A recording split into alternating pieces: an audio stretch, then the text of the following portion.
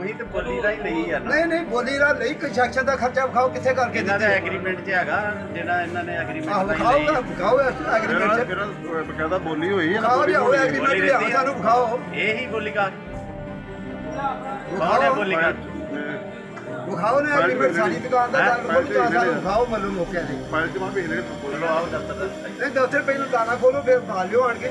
ਤਾਲਾ ਨਹੀਂ ਖੋਲਣਾ। ਕਿ ਤੂੰ ਖੋਲਣਾ ਕਿਉਂ ਨਹੀਂ? ਖੋਲੋ ਆਪੇ। ਤੇ ਖੋਲਣਾ ਅੱਗੇ ਵੀ ਤਾਂ ਖੁੱਲ੍ਹੇ ਹੀ ਆ। ਤੇ ਖੁੱਲ ਜਾਣੇ ਅੱਗੇ ਵੀ ਫਿਰ ਕੀ ਅੱਗੇ ਕੀ ਹੋਇਆ ਸੀ? ਹੁਣ ਵੀ ਉਹ ਕੁਝ ਹੋਣਾ ਖੋਲੋ ਆਈ ਆਪੇ ਪਤਾ ਕਿਹੜਾ ਕਿਉਂ ਮਾਰਦੇ ਹੋ ਤੁਸੀਂ ਸਾਡੇ ਤੇ? ਧੱਕਾ ਤਾਂ ਕਰੀਏ ਨਾ ਤੁਹਾਡੀਆਂ ਹੁਣ। ਤਾਂ ਧੱਕਾ ਤੇ ਕਰਦੇ ਦੁਕਾਨਾਂ ਤੇ ਤੁਹਾਡੀਆਂ ਵੀ ਨਹੀਂ ਮੈਂ ਆਖਣੇ ਤੁਸੀਂ ਵਿਖਾਓ। ਸਾਡੇ ਰਿਕਾਰਡ 'ਚ ਤੁਸੀਂ ਤੇ ਬੋਲਦੇ ਵਿਖਾਓ ਨਾ ਰਿਕਾਰਡ ਨਾਲ ਲੈ ਕੇ ਉਹਨੇ ਤਾਲਾ ਮਾਰ ਤਾਲਾ ਮਾਰ ਕੇ ਰਿਕਾਰਡ ਨਾਲ ਲੈ ਕੇ ਆਉਣਾ ਸੀ। ਉਹ ਨੰਬਰ ਸਾਡੇ ਰਿਕਾਰਡ 'ਚ ਆ। ਤਾਲਾ ਮਾਰਨੇ ਰਿਕਾਰਡ ਨਾਲ ਲੈ ਕੇ ਆਉਣਾ ਸੀ ਨਾ। ਯਾਰ ਨੋਟਸ ਦਾ ਜਵਾਬ ਕਮੇਟੀ ਦੇ ਆਏ ਤੇ ਨੋਟਸ ਦਾ ਜਵਾਬ ਕਿਉਂ ਦਈਏ? ਜੇ ਤਾਂ ਨੋਟਸ ਹੁੰਦਾ ਤੁਸੀਂ ਉਹ ਤੇ ਚੈੱਕ ਜਿਵੇਂ ਕਰਦੇ ਹੈ ਹੋ ਤੁਹਾਡੀ ਜਾਇਦਾਦ ਹੋਏ ਤੇ ਤੁਸੀਂ ਤੁਸੀਂ ਉਹ ਨੋਟਸ ਲਓ ਦੱਸੋ ਨੋਟਸ ਕਿਸੇ ਦੀ ਜਾਇਦਾਦ ਦਾ ਦੇਈ ਜਾਂਦੇ ਹੋ ਤੁਸੀਂ। ਏਦਾਂ ਨਹੀਂ ਮਾਲੀਆਂ ਬਣਦੀਆਂ ਤੇ ਫਿਰ ਏਦਾਂ ਤੁਹਾਡੀਆਂ ਵੀ ਨਹੀਂ ਬਣਦੀਆਂ।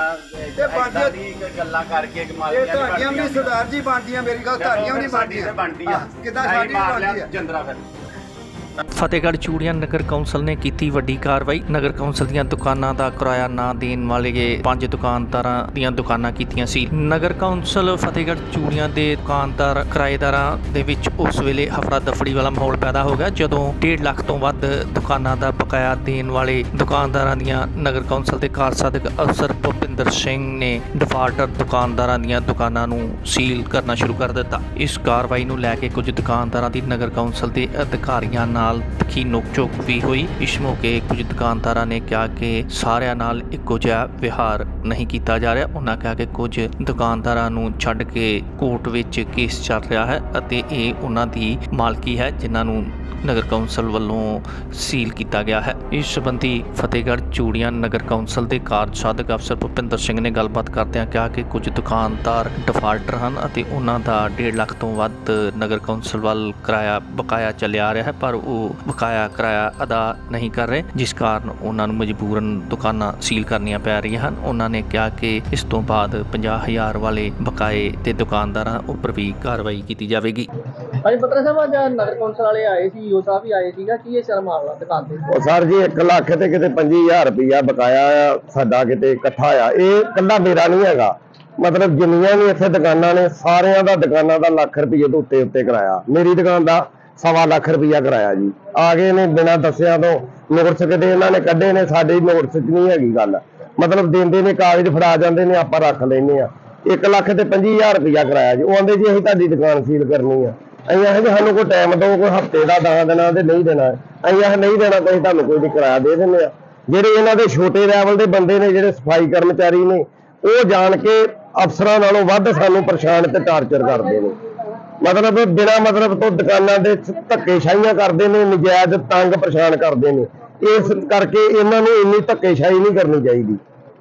ਤੇ ਹੁਣ ਤੁਹਾਡਾ ਇਹ ਜਿਹੜੀ ਕਿਰਾਏ ਦਾ ਸੀਗਾ ਮਾਮਲਾ ਮੁੱਕ ਗਿਆ? ਮੋਗਿਆ ਜੀ ਇਹ ਸਾ- ਅੱਜ ਕੀ ਮਾਮਲਾ ਜੀ ਅੱਜ ਦਾ ਜੀ? ਮੈਂ ਸੁਖਦੇਵ ਸਿੰਘ ਸਾਨੂੰ ਨਿਹਾਲ ਸਿੰਘ ਵਾਰਡ ਨੰਬਰ 8 ਫਤਿਹਗੜ੍ਹ ਚੂੜੀਆਂ ਦਾ ਵਾਸੀ ਹਾਂ। 13 ਸਾਲ ਪਹਿਲਾਂ ਅਸੀਂ ਦੁਕਾਨ ਬਣਾਈ ਸੀ।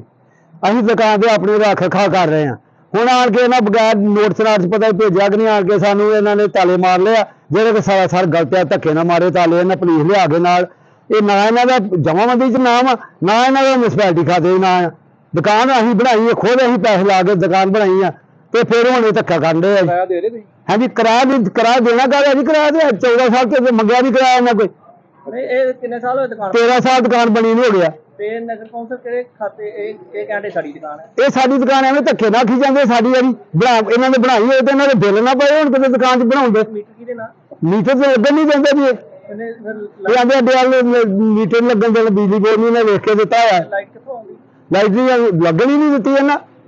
ਤੇ ਹੁਣ ਅਗਲਾ ਸਟੈਪ ਕੀ ਕਰਨਾ? ਅਗਲਾ ਸਾਹਿਬ ਹੁਣ ਜਾਂ ਅਸੀਂ ਪਹਿਲਾਂ ਗਵਰਨਮੈਂਟ ਕੋਲ ਜਾਵਾਂਗੇ ਫਿਰ ਅਸੀਂ ਕੋਰਟ 'ਚ ਜਾਵਾਂਗੇ। ਪਹਿਲਾਂ ਮਾਨਯੋਗ ਡੀਸੀ ਕੋਲ ਜਾਵਾਂਗੇ।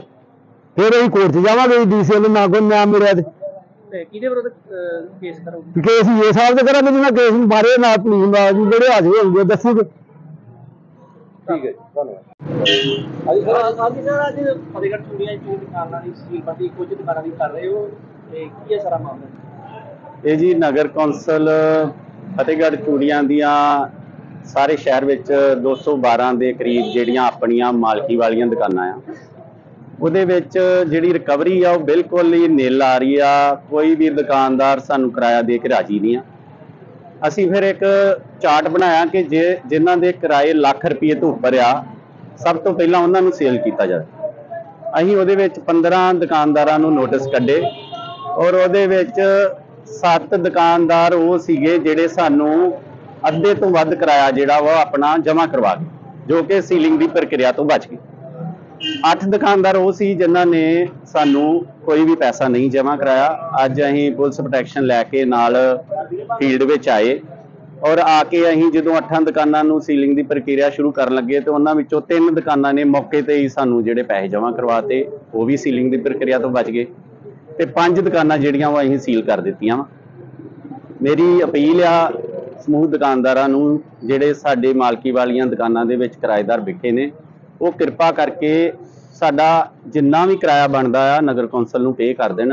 ਨਹੀਂ ਤੇ ਮਜਬੂਰਨ ਸਾਨੂੰ ਜਿਹੜੀਆਂ ਇਹ ਸੀਲਾਂ ਹਰ ਦੁਕਾਨ ਨੂੰ ਲਾਉਣੀਆਂ ਪੈਣਗੀਆਂ। ਇਹ ਜੇ ਕਿਰਾਇਆ ਇਹ ਜਿਨ੍ਹਾਂ ਨੇ ਸੀਲਾਂ ਲਾਈਆਂ ਇਹ ਅਗਰ ਇਹ ਕਿਰਾਇਆ ਦੇ ਦਿੰਦੇ ਆ ਫਿਰ ਇਹ ਹਾਂ ਜੇ ਕਿਰਾਇਆ ਦੇ ਦਿੰਦੇ ਆ ਤੇ ਸੀਲਿੰਗ ਦੀ ਪ੍ਰਕਿਰਿਆ ਤੋਂ ਬਚ ਜਾਣ। ਇਹ ਕਿੰਨੇ ਦਿਨ ਦੀ ਹੁੰਦੀ ਹੈ ਜੀ ਦੇਖੋ ਅਸੀਂ ਇਹਨਾਂ ਨੂੰ ਨੋਟਿਸ ਵੀ ਕੱਢਿਆ ਇੱਕ 15 ਦਿਨਾਂ ਦਾ ਕੱਢਿਆ ਇੱਕ 7 ਦਿਨਾਂ ਦਾ ਕੱਢਿਆ ਉਸ ਤੋਂ ਬਾਅਦ ਨਿੱਜੀ ਸੁਣਵਾਈ ਲਈ ਵੀ ਇਹਨਾਂ ਨੂੰ ਬੁਲਾਇਆ। ਔਰ ਉਹਦੇ ਵਿੱਚ ਕੁਝ ਬੰਦੇ ਜਿਹੜੇ ਐਗਰੀਮੈਂਟ ਕਰਕੇ ਸਾਡੇ ਨਾਲ ਅੱਧਾ ਕਿਰਾਏ ਤੋਂ ਬਾਅਦ ਦੇ ਗਏ ਆ ਉਹ ਸੀਲਿੰਗ ਦੀ ਪ੍ਰਕਿਰਿਆ ਤੋਂ ਬਚ ਗਏ ਆ ਔਰ ਮੈਂ ਇਹੋ ਹੀ ਚਾਹੁੰਦਾ ਆ ਕਿ ਜਿੰਨੇ ਵੀ ਦੁਕਾਨਦਾਰ ਆ ਉਹ ਅੱਜ ਹੀ ਆਪਣਾ ਅੱਧਾ ਕਿਰਾਇਆ ਜਮ੍ਹਾਂ ਕਰਵਾ ਕੇ ਸੀਲਿੰਗ ਦੀ ਪ੍ਰਕਿਰਿਆ ਤੋਂ ਬਚ ਸਕਦੇ ਸਰ ਕੋਈ ਕਹਿ ਰਹੇ ਨੇ ਕਿ ਦੁਕਾਨਦਾਰ ਵੀ ਉਹ ਸਾਡੀ ਮਾਲਕੀ ਆ ਇਹਦੀ। ਜੇ ਉਹਨਾਂ ਦੀ ਮਾਲਕੀ ਆ ਤਾਂ ਬਿਲਕੁਲ ਸਾਬਤ ਕਰਨ ਕੋਰਟ ਵਿੱਚ ਜਾਣ ਨਗਰ ਕੌਂਸਲ ਨੂੰ ਆਪਣੇ ਰੈਵਨਿਊ ਰਿਕਾਰਡ ਮੁਤਾਬਕ ਆਪਣੇ ਰਜਿਸਟਰੀਆਂ ਵਿਖਾਉਣ ਪਰ ਅਜੇ ਆ ਨਹੀਂ ਆ ਇਹ ਜਿੰਨੀਆਂ ਵੀ ਦੁਕਾਨਾਂ ਪਈਆਂ ਵਾ ਨਗਰ ਕੌਂਸਲ ਨੇ ਖੁਦ ਇਹਨਾਂ ਦੀ ਕੰਸਟਰਕਸ਼ਨ ਕੀਤੀ ਆ ਔਰ ਇਹਨਾਂ ਦੇ ਇੱਕੋ ਆਬਾਦੀ ਦੇ ਦਾ ਸਹਾਰਾ ਲੈ ਕੇ ਗੱਲ ਕਰਦੇ ਨੇ ਜਦ ਕਿ ਇਹ ਨਗਰ ਕੌਂਸਲ ਦੀ ਮਾਲਕੀ।